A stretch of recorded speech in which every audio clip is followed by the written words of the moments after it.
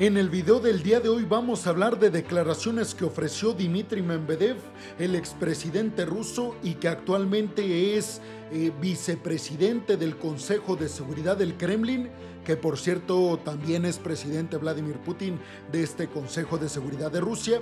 Pero a lo que vamos en este video, peregrinos, es a analizar y a ver ¿Qué hay detrás de las declaraciones siempre tan provocativas, siempre tan incendiarias por parte del expresidente ruso Dmitry Medvedev?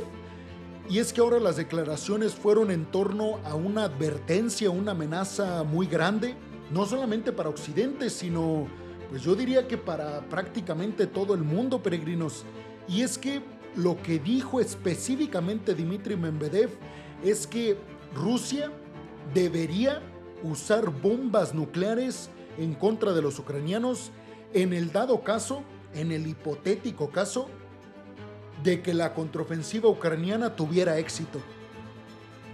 Vamos a profundizar un poco en este tema, peregrinos, porque yo cuando leí la noticia, más que una declaración incendiaria por parte de Dmitry Medvedev, que ya es costumbre, si ustedes leen los medios de comunicación internacionales, casi una vez por semana o dos veces por semana se van a encontrar este tipo de declaraciones por parte de Dmitry Medvedev amenazando con bombas nucleares a la OTAN, diciendo que, que si continúa la ayuda por parte de los occidentales a, a Ucrania, Rusia va a tener que llevar a cabo intervenciones militares en países miembros de la OTAN como Polonia. Siempre da este tipo de declaraciones. Pero con este tema de que en el dado caso de que la contraofensiva ucraniana tenga éxito recuperando territorios que actualmente controla Rusia, en ese momento sí utilizaría bombas nucleares el Kremlin. Es una declaración que, créanme peregrinos, enciende y enciende mucho las alarmas.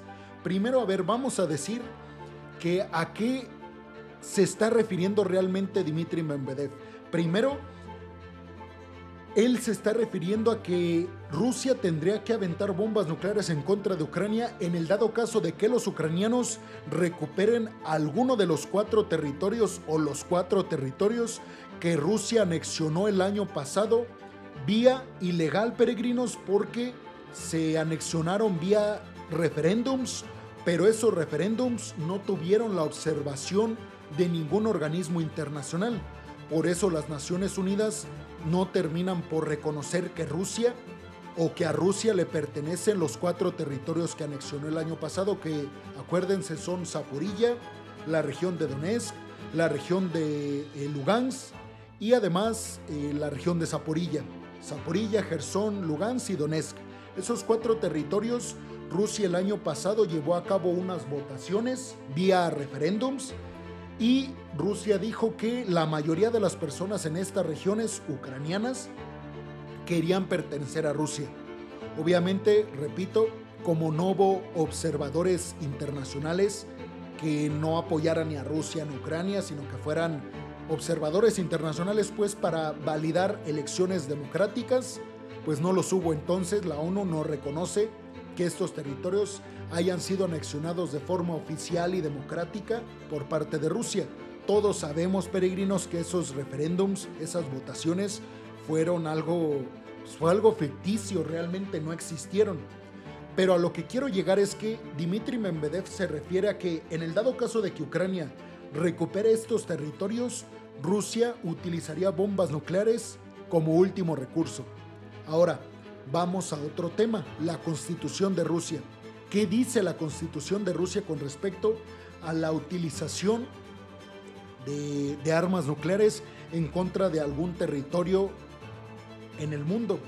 Bueno, lo que dice este, la, constitución rusa es que Rusia puede utilizar bombas nucleares en el caso en el que algún territorio de Rusia y por ende la seguridad nacional rusa sea puesta en riesgo o territorios estén en riesgo de caer en manos de los invasores. Entonces, ¿cómo interpreta la ley Rusia o específicamente Dmitry Medvedev, que dio estas declaraciones, cómo interpreta esta, este punto tan específico en la constitución rusa? pues básicamente como lo interpreta Dmitry Medvedev es que como Rusia anexionó, supuestamente Rusia vía legal, estos cuatro territorios ucranianos el año pasado, como los anexionó, pues ya son parte del territorio ruso. Entonces Dmitry Medvedev dice, si Ucrania estuviera a punto de recuperar estos territorios que ya son nuestros, pues la constitución nos ampara para utilizar bombas nucleares, porque técnicamente están tratando de quitarnos un territorio que ya nos corresponde. Y entonces se cumple ese requisito para que Rusia pueda utilizar bombas nucleares, que repito, se estipula en su constitución, que es el mismo caso de Crimea. Entonces, aquí la pregunta sería, ¿realmente Rusia, realmente Mendebev, realmente Putin estarían dispuestos todos a utilizar bombas nucleares en contra de Ucrania? Pues aquí viene unas declaraciones de Jan Stotelmer, el secretario general del bloque de la OTAN, con respecto a este tema. Hace algunos meses, peregrinos, cuando la alerta de, que Rusia podría utilizar bombas nucleares estaba más a flor de piel, estaba más viva que nunca esta, esta advertencia, justamente en la contraofensiva a finales del año pasado que llevaron a cabo los ucranianos. En este contexto, donde Rusia estaba perdiendo territorio que ya tenía invadido y controlado ilegalmente, eh, se decía mucho este tema que iban a utilizar bombas nucleares en contra de Ucrania y toda esta serie de, declaraciones incendiarias y provocadoras, como les digo. En aquel entonces, Jan Stotelmer, el secretario general de la OTAN, aseguró que la OTAN no creía que Rusia fuera capaz de presionar el botón nuclear, en este caso en contra de Ucrania, pero la OTAN piensa que en contra de nadie. ¿Por qué, peregrinos? Les preguntaría por qué creen que la OTAN piensa, o bueno, que se dice segura, de que Rusia no va a utilizar bombas nucleares. Si pensaron en China, pues acaban de dar en el, en el clavo, en el punto medio peregrinos. Acaban de darle al rojo. Y es que lo que piensa la OTAN es que como China advirtió a Rusia que no permitiría un ataque nuclear, significaría que si Rusia ataca nuclearmente, por ejemplo, Ucrania, eso es equivalente a que Rusia pierda como aliada a China. Putin y Rusia no se pueden dar ese privilegio, peregrinos, de perder a un aliado como China, que aumentó la compra de gas natural, de petróleo, de carbón, que aumentó las importaciones y las exportaciones, que de alguna forma está manteniendo a la economía rusa y que de alguna manera China le está dando el respaldo a Rusia en instituciones internacionales como por ejemplo en la ONU y más específicamente en el Consejo de Seguridad. Entonces, si a mí me preguntan yo qué pienso, si creo realmente que Rusia se atrevería a aventar bombas nucleares en contra de Ucrania en el dado caso de que la contraofensiva ucraniana fuera un éxito, como dijo Mendebev, yo creo que no. Y no creo que no lo haga por el tema de la constitución rusa o por el tema de, pues hasta de un sentido ético con la humanidad. Creo que no lo haría precisamente porque podría perder a su aliado China. Y me parece que China ha jugado su papel, peregrino. China ha sido muy pragmática, pero muy práctica al mismo tiempo en el sentido de decir, a ver, yo no voy a sancionar a Rusia, yo no estoy peleado con Rusia, yo pues tengo mis problemas con Occidente, sabemos por el tema Taiwán, por el tema de, comercio y de economía, de espionaje inclusive, pero China es amigo y aliado de, de quien le tienda la mano.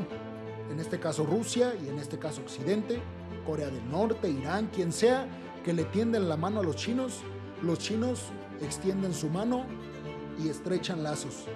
China no tiene problema con ese tema. Entonces, a mí me parece repito, si ustedes me lo preguntan, que si China advirtió a Putin que no permitiría y no apoyaría bajo ninguna circunstancia un ataque nuclear desde Moscú hacia Kiev, eso me parece que va a ser el freno de mano que va provocar que Putin ni siquiera piense en la posibilidad de aventar una bomba nuclear. Y por supuesto, pues, todo, el, todo el tema siguiente, la OTAN ha amenazado a Rusia de que se avienta bombas nucleares, la OTAN va a participar ya ahora sí directamente en el conflicto. La OTAN son 31 países actualmente. Eh, podríamos decir que son oficialmente ya 32 porque la entrada de Suecia es inminente, pero en estos momentos 31 países. Nadie va a querer un conflicto contra un bloque de, compuesto por 31 países y además muy poderosos económica y militarmente hablando. Entonces, bueno, la pregunta es para ustedes. ¿Creen realmente que Rusia presionaría el botón nuclear en contra de Ucrania en el dado caso de que la contraofensiva ucraniana tenga éxito? Los leo en los comentarios, peregrinos.